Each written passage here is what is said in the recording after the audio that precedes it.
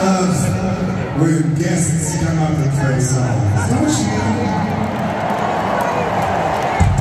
Isn't it nice when a band can just have a guest come up and play a song with them?